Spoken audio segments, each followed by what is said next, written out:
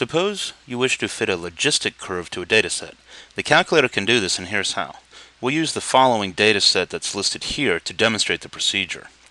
We'll go under Stat, we'll go under Edit, we'll go ahead and start entering in these data values. And what we do is the first number in each one of these pairs will be entered in under L1. These represent the x coordinates of the point. And under L2, we will enter in the second number in each pair, as these represent the y coordinates of each of these points.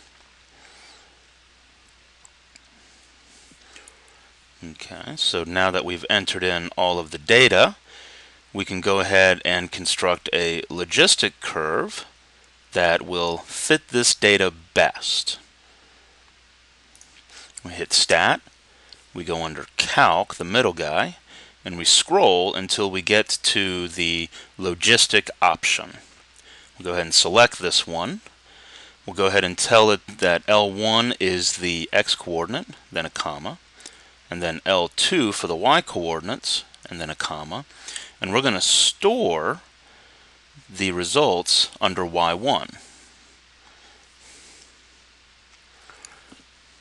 And it's computing it right now. And we can see the output.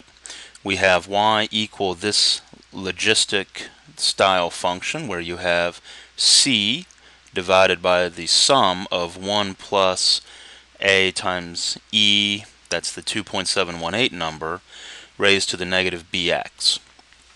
Now each of these numbers has a specific kind of relationship with the curve itself.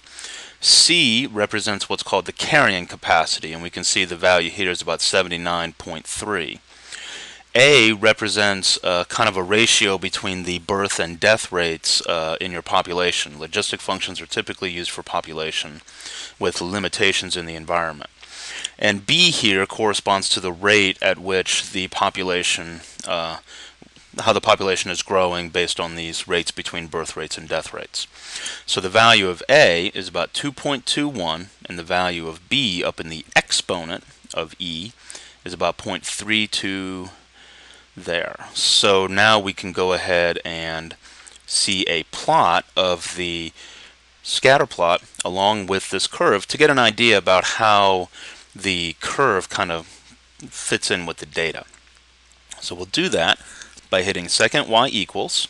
That brings up the stat plots menu. We'll turn it on. We'll select the scatter plot option, the first one here.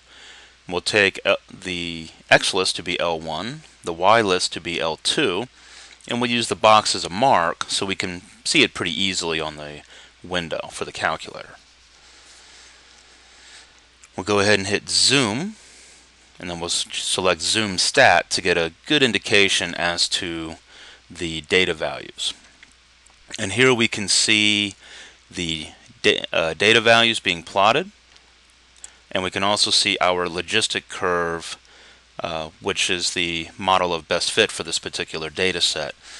And this is how you can do a logistic regression on the TI-83/84 calculators.